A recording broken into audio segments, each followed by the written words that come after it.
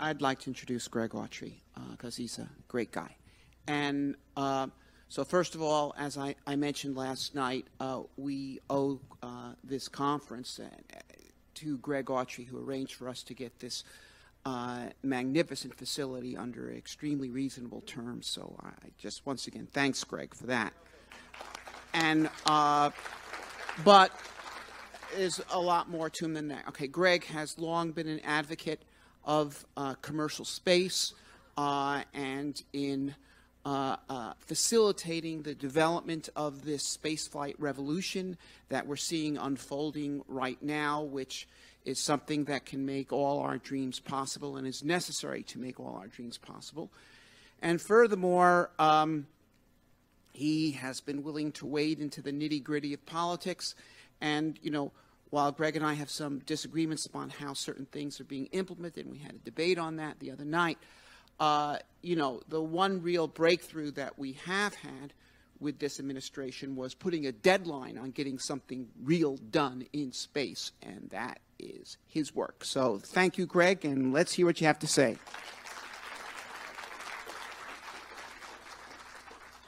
Bob, could I get you to come back up? I, I, I want a picture.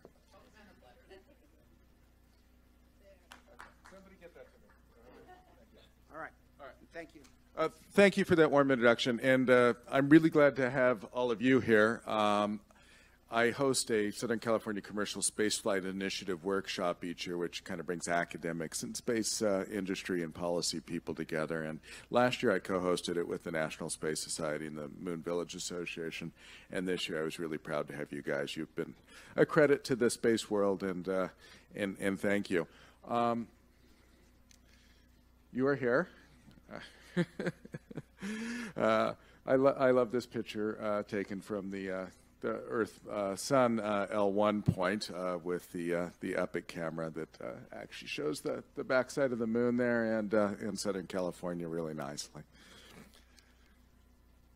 I couldn't be with you guys yesterday because I was with the folks at uh, the USC Rocket Propulsion Lab uh, at the the Coliseum for our, our football game uh, where the school nicely showed their rocket launch up on the jumbotron, and the, the students there were really excited, and and uh, my son and other people made me go. So I'm really sorry I couldn't be at the banquet. And, and again, I, I thank thank Bob for, for I understand there was a shout out there because somebody sent me the video. So Thank you. Um, but there's so much exciting stuff going on into space, it's almost impossible to know where to be, right? So you got ISC coming up this week. I missed ISPCS in New Mexico. I feel bad about that. Um, but this is a really good sign. Things are happening in space. Uh, and they're happening dynamically and in an uncoordinated way. It's not all dictated from, from Washington, D.C., right? Uh, I love Washington, D.C., honestly. I, I, hosted the ISDC conference there uh, in June as chair, and, uh, and that was fun. And I think a lot of our policymakers, in a bipartisan way, are starting to get it about space. Uh, I love seeing U.S. senators uh, that actually do personally care about space. Um, couple months ago, I was in the Orange County airport and I ran into Ted Cruz in the McDonald's and uh, started talking to him. We ended up on the same plane together, uh, heading out to Houston, where I was giving a talk. And you know, the guy, the guy's passionate about it. Whether you agree with him on anything else, you know, he's passionate about that. I, have had the opportunity to, to sit and talk with the, the new Democratic chair of the uh, uh, SciTech committee, and she's passionate about it. And uh, I don't agree with her or him on every single point, but the, the point is that a lot of different people are thinking about it from a lot of different angles. And when that happens, I think good things are going to happen. Now, I'm most particularly interested in the commercial industry, and I want to talk about this. So, you would think that these young people who, who built a rocket about a thousand feet from here and actually sent it to space uh, from a dry lake bed in Mojave, about uh, I think 60 miles from here, um, wouldn't necessarily make make a big impact. Uh, you know, beyond uh, this this stunt. I'm sure a lot of people just looked at it as a stunt. So yeah, they had a, a, solid rocket that crossed the Kármán line with a GoPro in it, with with a really bad video because they cut the port out of the uh, the rocket where they put the GoPro in a kind of fuzzy way, and somebody got a fingerprint over the lens, and that just kind of happens with with student things. But they did it right. Uh, no, it did make a big impact in ways that you might not think about, and I want to talk about the commercial impact of this little rocket lab here. And this is a entirely student run place. If you walked into that, that, that lab, in fact, Bob, have you been there? Uh, let me see if I can get in there. Yeah, if you have, uh, you, okay, well, never mind. Next time we're going to go in there. All right, you should see this. You wouldn't think that much if you looked at, at what at you know the facilities and equipment in there, and watch these kids take uh, the AP and kind of pack it together in a big mixing bowl like it was uh, bread dough or something by hand. But uh, they're doing incredible things, and so I'm going to talk about two spin-offs that came out of uh, uh, RPL. Uh, one is this one. Some of you might have seen me riding around on that skateboard there. So I'm actually the uh, the skateboarding professor, which saves me a lot of time when Carrie texts me and says that we we have some technical problem in one hall or the other. So there we go. Um, this student here, Ryan Ologis, uh, was the head of composites for the, the Student Rocket Propulsion Lab.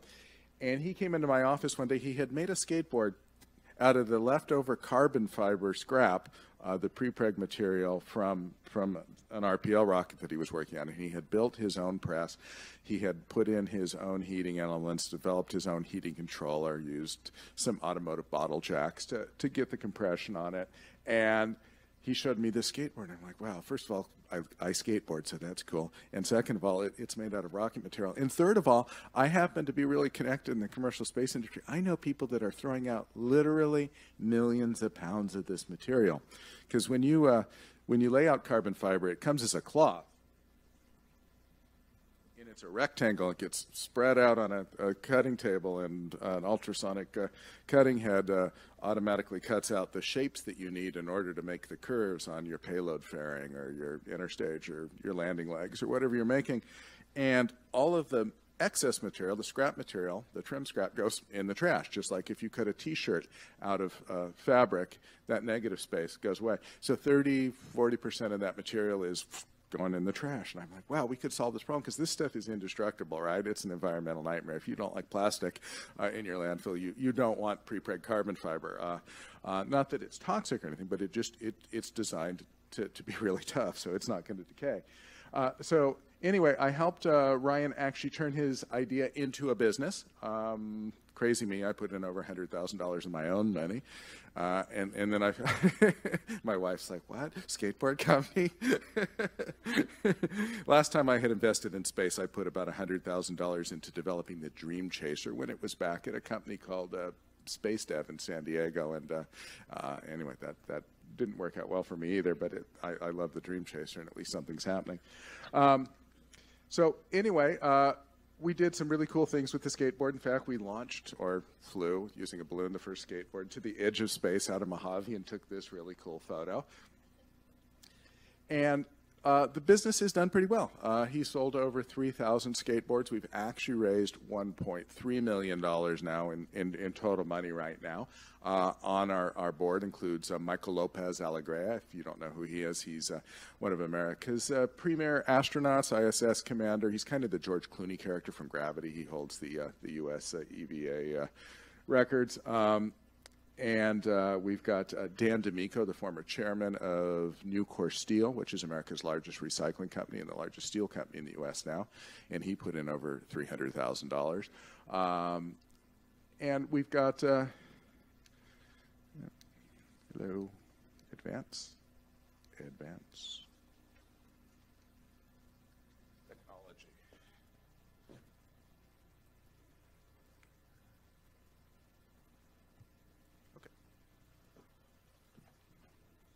We've got a lot of different products. These drums, one of our investors is a guy named Jimmy Keltner. Anybody know who Jimmy is?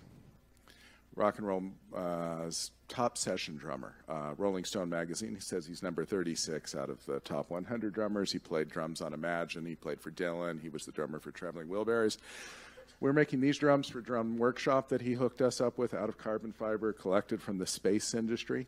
I'm not allowed to say what companies they are, but they're local companies here that use a lot of carbon fiber. And um, these drums, in fact, are yeah, these drums, in fact, are being played on uh, the new Beck album.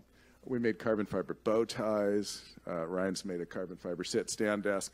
He's making frames for drones for racing drone companies uh, out of uh, Singapore and Taiwan, and he's uh, which is great because we're actually exporting uh, American products to the rest of the world, which is kind of cool. Net trade balance.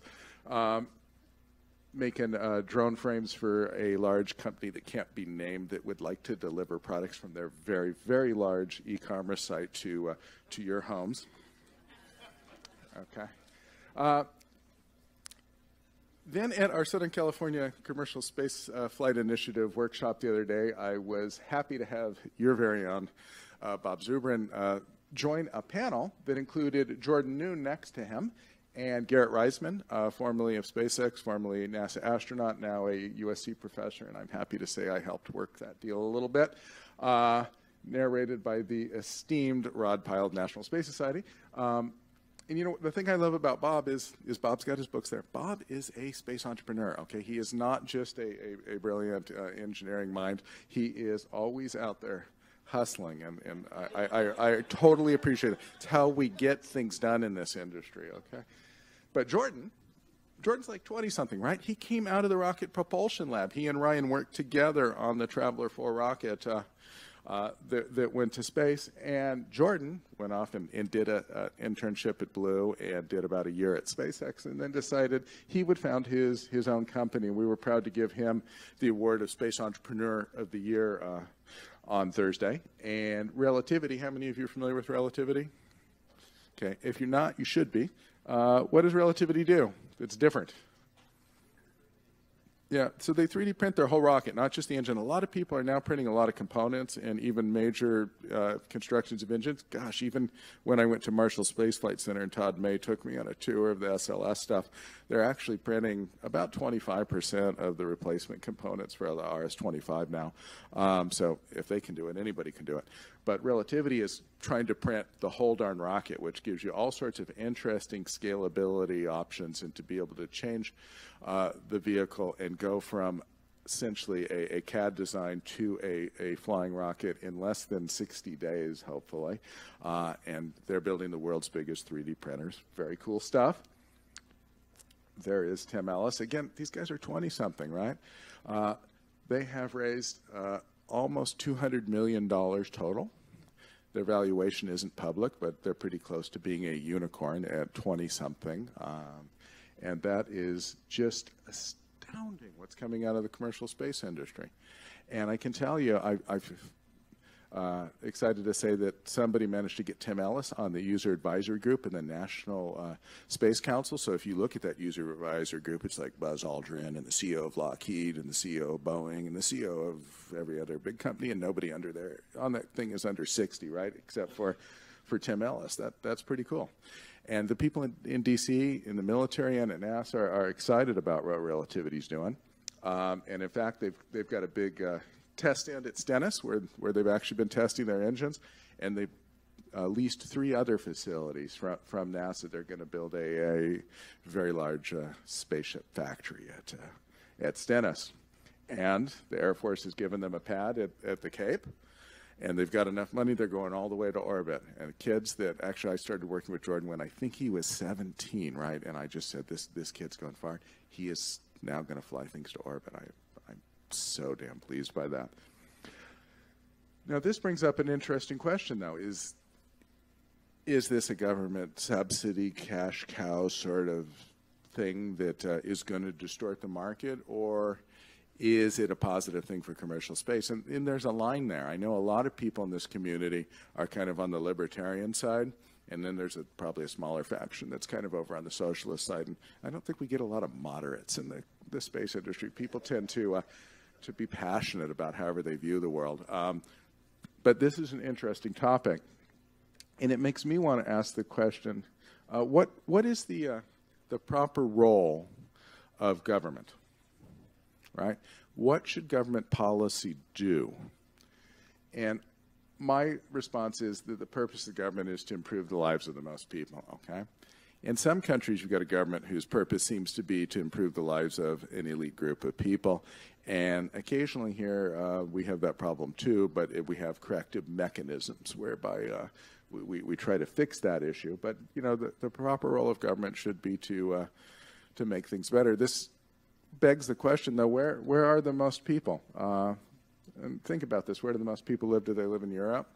Do they live in the United States? Do they live in China? No. Do they live in India? No. they live in the future. The role of government is to improve the lives of people in the future. Okay? Stop worrying about ourselves. It's, it's all about the next generations. One of the reasons that I'm here teaching, honestly, I could do other things, but I, I love what I do, and I get to, to hang out with kids like Ryan and Jordan who are brilliant and, and, and, and uh, participate in their success. But what I really want to do is improve the lives of people in the future, and I think that that's why this society exists primarily. How many of you actually think you're going to get to Mars? God bless you. I hope so. Uh, I'm not as enthusiastic, but somebody is, and if you keep doing it, it's it's going to happen. Okay. So uh, let, us try to make it you and me, but uh, if not, uh, you know, let, us make it my son. So this brings up an interesting point. Uh, why why the moon? Okay. Uh, when we were at NASA, I was with the transition team. Um, this was an issue. Um, it would become apparent that there are some resources. And this isn't just water ice. If you watch, for instance, a recent uh, interview with Phil Metzger, you'll see that uh, we know that there's carbon there too. So we've got CO2 ice, perhaps. Uh, you can make methane with that if there's enough of it. There might even be methane ice. There's also likely, uh, based on radar imaging, uh, some large metallic cores from asteroids that impacted the moon. We're not clear on that. Those might have been vaporized when they made the craters or, or not. We need to, to do uh, some ground penetrating radar, but we've got radar that's demonstrated we can find those meteorite and asteroid cores on the Earth. So let's, uh, let's do that on the moon. But the point is, people want to get to this stuff. And uh, if we don't participate in getting to this stuff, we're not going to have our chance because it's going to be the next 10 years or or nothing. And and we've got some international competitors that uh, that have very clearly stated they they intend to to do this. And they'll of course go set up under the Outer Space Treaty their operational exclusion zones, and some of them kind of like the Outer Space Treaty because it's weirdly vague about what commercial operations mean, and it doesn't allow a mechanism for commercial companies to improve their land and resell it. So, as I mentioned in the previous debate, and, and, and Bob and I agree, the Outer Space Treaty, uh, other than perhaps the prohibition on weapons of mass destruction, needs to go. Um, and that's an important part of commercial development because to make Mars work, to make the moon work, we've got to have private property rights, and people have to be able to pass on the value of the property that uh, that they've created to other people, or sell it, or more importantly, lend against it. And uh, and we've got to we've got to straighten that out. Business is good in uh, in commercial space overall. This is from the Space Angels Network uh, Q1 2019 report. Um, total investment uh, cumulative in uh, in these commercial space ventures is over 22 billion dollars, and it's going pretty well. There are some folks who think that we might be looking at a, another commercial space bubble, like the one that, that burst in the 90s, or the teeny one from the 80s. Um, that's possible, but I, I am pretty uh, confident that uh, although no market has every company in it uh, succeed, and you don't want that, right? You do not want every company to succeed. Failure is how we learn. And it doesn't mean that the lessons we learned or even the physical investments we made go away. Okay, so relativity space is using test stands that NASA hasn't been using. It's Stennis. Whose test stands does SpaceX use in McGregor, Texas? The no one's built by Beal, uh, Beal Aerospace in, in, in the 90s in, in that uh, uh, abortive attempt to, uh, to launch a commercial spacecraft. This stuff doesn't go away. Um, the team that worked on Rotary Rocket went on to, uh, to form other, other ventures, and Brian Binnie, who flew the Rotary Rocket, flew Spaceship One off it, off it scaled. Um, these things although they may be business failures, are not industry failures. That's okay. That we expect to see businesses be purchased, businesses to go bankrupt, uh, and, and their assets and intellectual property to be distributed. That's all okay. But is everything good? There's something that's been concerning me, and if any of you follow me, you, you, you may know this. When I did my uh, PhD dissertation, I went off and I looked at the number of patents filed by companies in the commercial space industry because in management scholarship, patent filings are a proxy for innovation. It's how social scientists and management scholarships determine which companies are most innovative. So companies with more patents are more innovative than companies with less patents. So Boeing has 22,000 patents or something like that. How many does SpaceX have when I searched? One. I found one. Okay. One patent. All right. Um, gee. uh, so, you know, Boeing is infinitely more uh, innovative than SpaceX according to that measurement. The patent system in the, the in, in the international community is broken because at least one major player simply refuses to play by the rules. Uh, this is a quote from Elon and Wired this is a real problem, okay? Uh, and it's not just in the space industry, but it is a challenge in, in, in the space industry because particularly when you've got a government player who feels that they can simply pick and choose technologies around the world and steal them through cyber attacks, uh, uh, on the ground espionage, and uh, and whatever methods they can get exploiting employees, and then copy those things and use them for for their own benefit. Um, you reduce the ability to get investment in companies here in the U.S. There's a company not far from here uh, called uh, Cloud Constellation. How many of you know what Cloud Constellation does? All right. So Cloud Constellation is going to put servers up in space so that they'll be more secure because they'll be actually physically isolated from the earth. Most people don't realize that all cyber attacks don't happen by some kid sitting in a dark room somewhere in, in Russia uh, typing in passwords really fast or, uh, or run, running some sort of script. A lot of them happen with physical access to uh, to the infrastructure, the communications infrastructure, and even to the server rooms. It's a whole lot easier to talk your way into a, uh, an IT complex than it is to break your way through the firewall. And uh, I, am actually a computer network engineer and software engineer by training, and, and I've done that many times. I did a lot of work for, for Kaiser Permanente, who has a very high-tech data center out in Corona, California. I used to make a point of sneaking in just to show that I could, and, and most of the time I could, all right, which wasn't good. So physical security, great idea. If these things are in orbit, that's going to be hard. They're going to communicate with encrypted uh, communications over uh, uh, optical connections. Great idea. Um, they got an investment, $100 million. That's good. Problem is, the investment came from a Hong Kong investor, right? Um, I've written a couple articles about this. I am concerned about where investment's coming from uh, and what the, the purposes of that is and how it distorts the commercial space industry. People say to me, but it's just a private Hong Kong investor. Do not be paranoid, Dr. Autry. Let me tell you the story of another private Hong Kong investor that I, I covered in my book. Uh, my book Death by China in 2012. This gentleman here was a private Hong Kong investor who went to the Ukraine, to Crimea, to buy an aircraft carrier from uh, the, the leftover Russian fleet, or the leftover Soviet fleet, pardon me, and he was going to turn it into a floating casino in Macau, right? And so he took $30 million in a bag of cash and, uh, and went off to Crimea and got himself uh, an aircraft carrier. Luckily for us, uh, our, our, our, nominal allies, the Turks weren't going to let this thing uh, out of the Black Sea and into the Mediterranean because they, they control the Bosphorus and Dardanelles.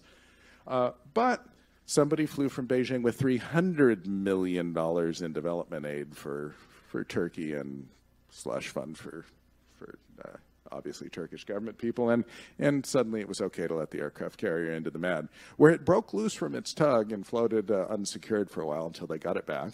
Anyway, they finally towed it. Did they tow it to Macau? No, they towed it to the Dalian shipyard in uh, in northern China, where they turned it into an operational aircraft carrier. Surprise, surprise. Okay. Uh, and the nominally Hong Kong private investor uh, actually brags about this openly now and talks about how uh, the purchase was aimed at, uh, at conveying the aircraft carrier uh, to uh, uh, to China. And unfortunately, because of a color problem, you can't see there, but um, this is his brag text where he's essentially saying. Um, that I fooled everybody in the world by pretending this was a private investment and I did the great thing for, for my country and I've made an aircraft carrier that can now threaten Vietnam and, and Malaysia and, and the Philippines and all the countries that claim the South China Sea territory that, that China wants to own. So we've got to realize what you're dealing with here and it isn't what it seems to be and it isn't what Wall Street investors want you to necessarily believe that it is. So you'll see a lot of companies out there in China that are nominally commercial companies, right? So X space has raised more than relativity space, right? Yay!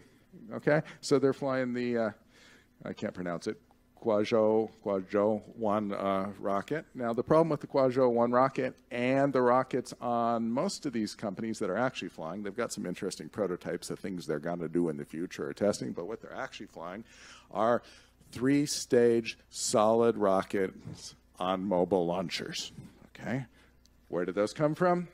They come out of the same factory that the DF 21D comes out of. Okay? They are being built by Chinese state-owned munitions companies controlled by the PLA and handed off to these nominally commercial companies so that they can have successful flights and announce that their commercial rockets are flying.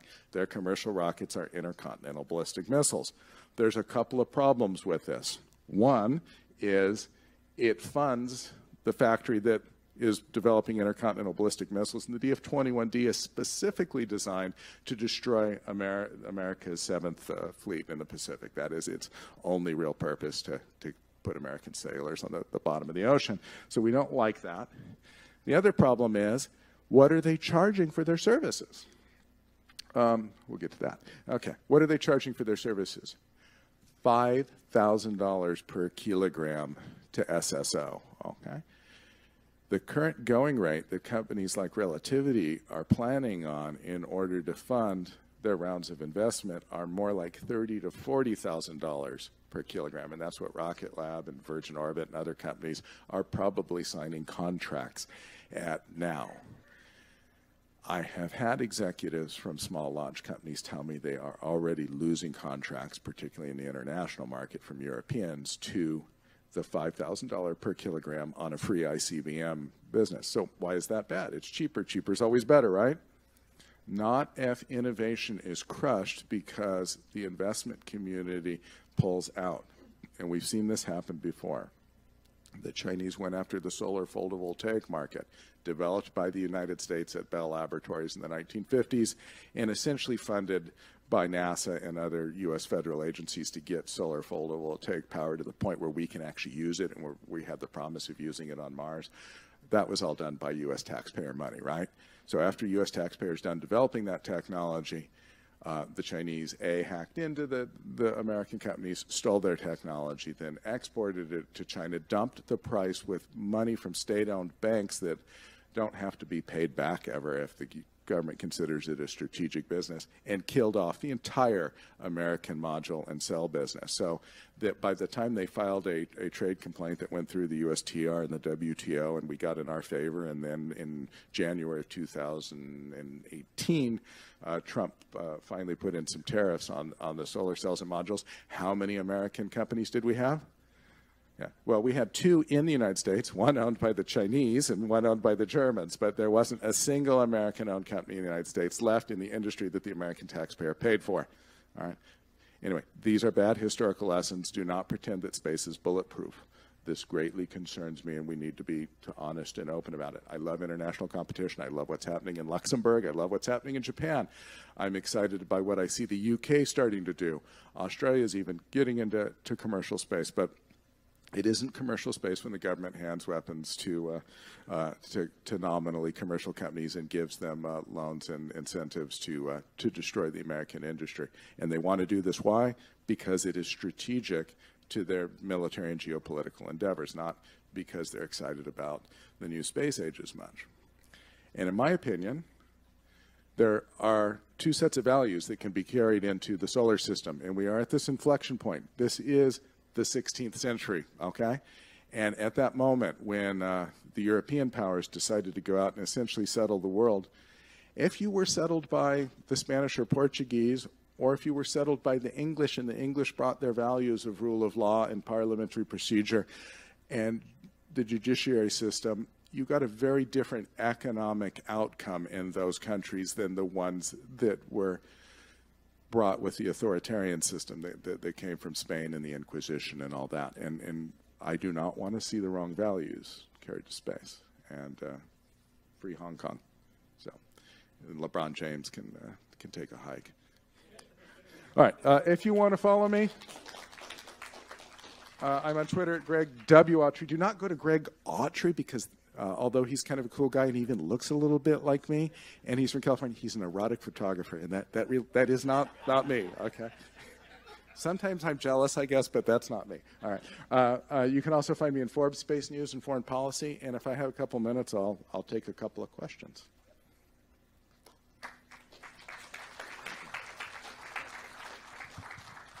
Uh, Greg, I didn't don't know if you um, if you heard my talk on Friday. Uh, probably you were not able to hear. it, I But I was apologize, talking I was- about exactly yeah, what yeah. you were talking Oh. about about uh, the, the the 15th and 16th century. So um, maybe we could talk later. But I just Certainly. Yeah. Okay, any other questions?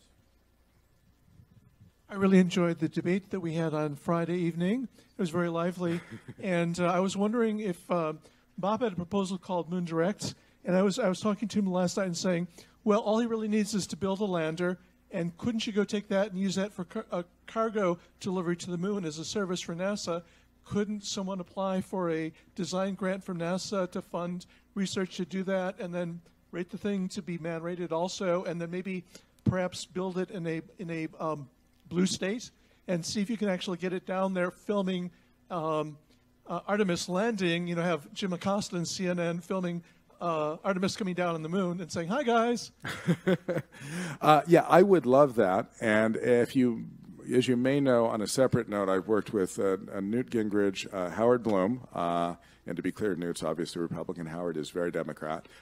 General Steve Kwast on uh, something called the $2 billion Moon Prize. And we would like to see a, a a motivating prize put up to uh, to get a commercial effort in parallel with Artemis. I, I, I support what they're doing at Artemis. I don't want to try to derail that because I'm afraid if we have too many fights, that we'll never get anything out of NASA.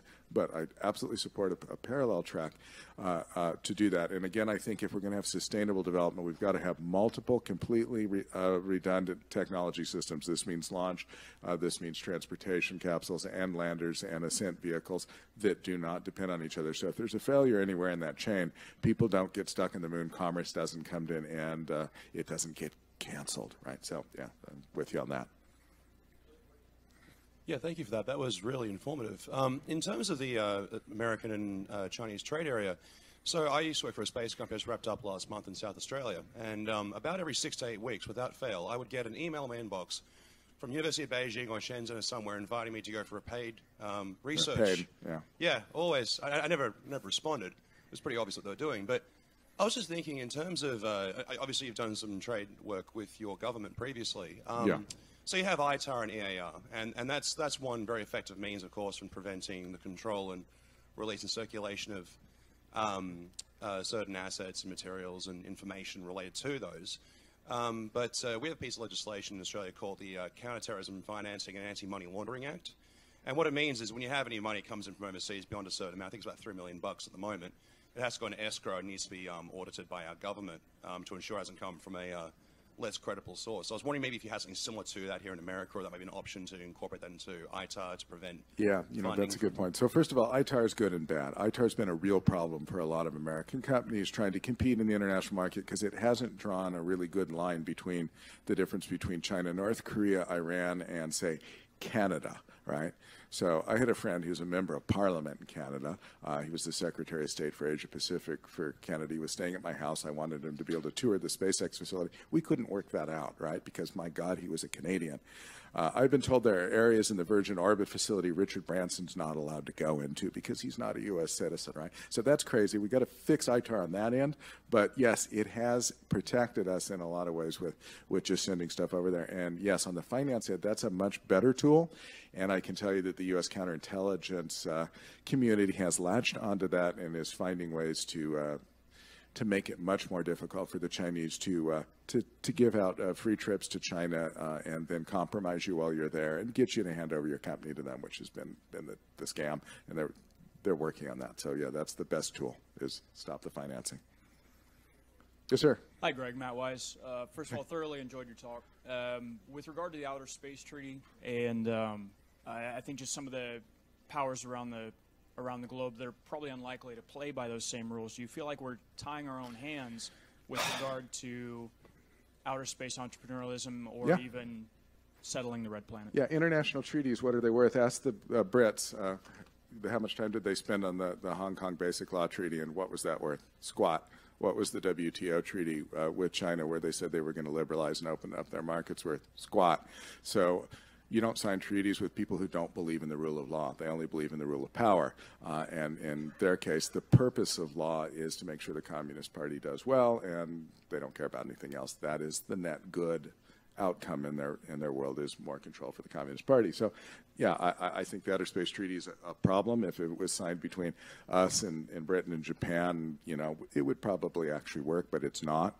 Um, and in fact, the biggest only credible part of the Outer Space Treaty I like because I don't care about the planetary protection part, and I don't care about and don't like the the lack of uh, of, of, private property rights. Um, is the weapons of mass destruction part. And I can tell you that uh, the Chinese are planning to put up, and they've been very clear, large power beaming satellite stations. Uh, and I love space solar power, but space solar power is a dual use technology. Uh, if you're beaming large, uh, powerful 100 megawatt microwave beams down to the, the Earth, you can do all sorts of things with them, both good and bad. And I believe that you'll find that the Chinese are going to launch nuclear reactors with power beaming capability because the solar takes too long. And that, in my opinion, is an orbital weapon of mass destruction uh, and a vi clear violation of the Outer Space Treaty. But I, I think they're just going to do that.